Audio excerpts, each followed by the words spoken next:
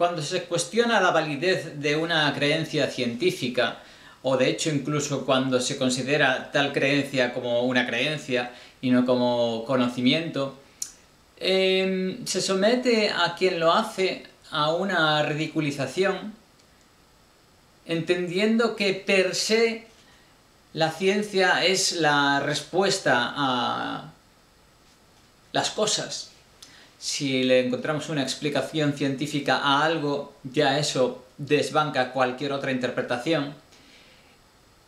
Y es especialmente curioso porque es precisamente a través de la ciencia em, que, llegamos a, a entender que ese conocimiento no es posible y que es una mera creencia. Sin embargo, quienes son adoradores de la ciencia, o sea, quienes, quienes, quienes eh, le otorgan esa validez excepcional y categórica y excluyente a la ciencia, no entienden qué es la ciencia. Cuando decimos que la ciencia ha avanzado y que ahora entendemos que algo y que podemos saber qué y que el Big Bang no sé qué. Realmente, o sea, el Big Bang y cualquier cosa. Si alguien cuestiona la divinidad, digamos, de los humanos y cree que somos organismos que hemos evolucionado y que a, raíz, a partir de otros organismos que antes han evolucionado eh, a partir de ciertas moléculas, que somos parte de la evolución física y química del universo. Si entendemos eso como tal, mm, no hay cabida, bueno, yo no le veo cabida, a la idea de conocimiento, porque ¿qué pasa? Que en el universo hay una evolución física y química que tiene como objetivo crear a unos organismos que entiendan las cosas, que tiene, tiene algún interés la evolución física y química tiene un interés en que aparezcan unos organismos que entiendan el, porqué de esto y de lo otro y de su existencia y de que hay mm, millones de kilómetros más allá. Mm, yo, si, si un científico niega eso y cree que nos ha creado una, que nos ha creado una, divinidad y que no somos fruto de una evolución, sino que nos ha creado una, divinidad o que incluso esa, esa, evolución ha sido creada por una divinidad con un interés específico en que nosotros entendamos algo, eh, pues bueno, eh, puedo entender que a raíz de eso, entonces tú elabores tus teorías de que esto es así, asado.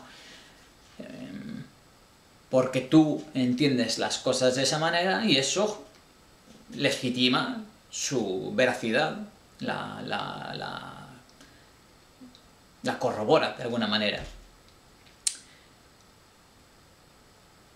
Entonces, mm, pero si, si, si tú no crees que haya alguien o algo que haya generado eso, que te haya creado con una finalidad específica, ¿Cómo explicas que por medio de una evolución que supuestamente se ha dado, basándose en aquello que, mm, que, ha, sido, que ha favorecido la reproducción de, este tipo de, organismos, o la, la repetición de determinados patrones en términos químicos, entonces, tú llegas, llegas a, ser un organismo con unas capacidades y unas limitaciones determinadas que no es que te lleven a entender las cosas, sino a opinar o interpretar las cosas. Pero si precisamente, o sea, el hecho, lo que hay aquí, aquí hay algo y yo no veo que hay aquí entre la cámara y yo, yo no lo veo. Eso no quiere decir que no haya algo. Si hablamos de ciencia hace 70.000 años, que evidentemente había ciencia, claro, hay ciencia, el, ensayo y error y el empirismo eh, que ha practicado el humano y otros animales mm, desde hace mucho tiempo, por lo menos, es ciencia. Lo que pasa es que la ciencia pues, es diferente dependiendo de los métodos de los que dispongamos. Pero mm, hace 70.000 años, quien está haciendo ciencia y haciendo una herramienta, podría decir que entre, entre la cámara y yo no hay nadie, no hay nada, no hay nada. Sin embargo, luego observamos con otros métodos, creemos observar al menos, que sí que hay cosas por aquí. Sin embargo, mi teoría inicial a nivel científico omitiría ese hecho, si es que lo es, que es que hay cosas entre la cámara y yo. Y la ciencia que hacemos hoy en día omite todas las cosas que desconocemos igual que hace 70.000 años. Entonces, el tema este de, elaborar teorías y darles credibilidad, porque esta persona se ha pasado 30 años investigando esto, mira cuánto trabajo, cuánto no sé qué, cuántas comprobaciones, cuántas comprobaciones dentro de sus propias limitaciones. No puede ir más allá de eso. Entonces, todo resultado de sus elucubraciones no es más que eso, una mera creencia. Mm, así constantemente se dan casos en los que eh, un supuesto descubrimiento científico desmonta y desbanca por completo creencias que había hasta entonces en términos científicos. Y, vivimos constantemente con la sensación de que hemos llegado al cenit del conocimiento o, que, o que lo que ahora se cree, o lo que creen algunos, es la verdad y es el conocimiento y que a partir de ahí vamos a construir cosas. Pero que eso es cierto, porque lo ha descubierto este investigador ahí, 40 años en un laboratorio, eh, u observando cosas. Y esto que yo pienso ahora, eh, que estoy expresando, tiene la misma validez que lo que puede decir una persona que se pase 30 años investigando en un laboratorio, porque lo que yo digo puede desmontar de base todo lo que pueda investigar esa persona, entonces todo lo que te rompas la cabeza investigando en una dirección no tiene por qué tener ningún sentido si partes de una base que es equivocada.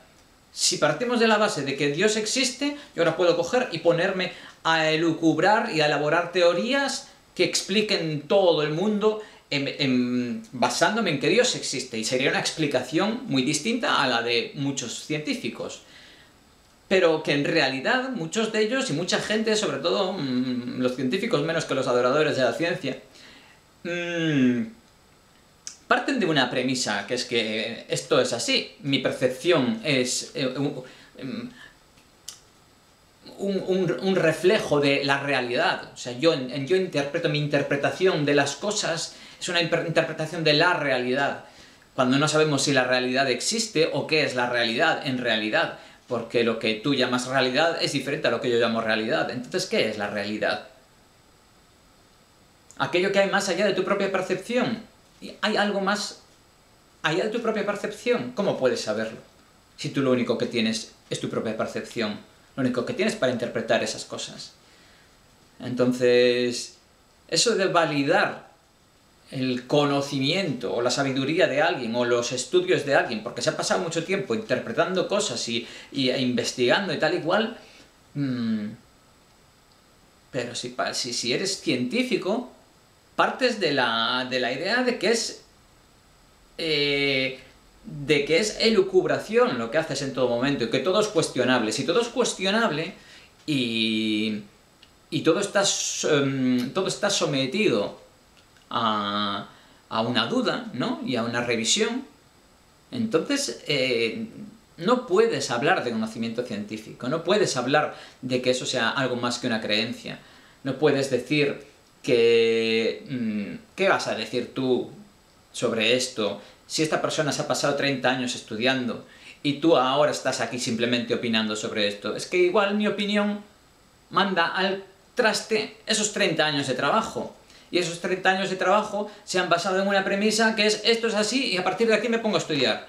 Dios existe, Dios ha creado esto y a partir de aquí me pongo a elaborar una teoría de por qué Dios ha hecho esto y esto y esto. Pero es que partes de ese, de ese, axioma que te has inventado, igual que te partes de ese axioma que te has inventado de que tu percepción es un reflejo de la realidad y de que las cosas que han estudiado otros y que tú has aprendido a base de estudiar son ciertas y que mm, validan tu estudio y tu investigación.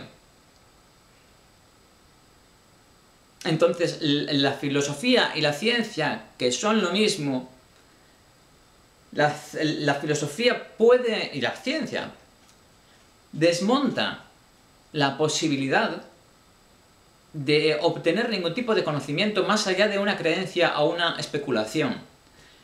Pero sigamos hablando de eh, eh, eh, expertos en cosas y sabios y, y grandes genios de la paja mental.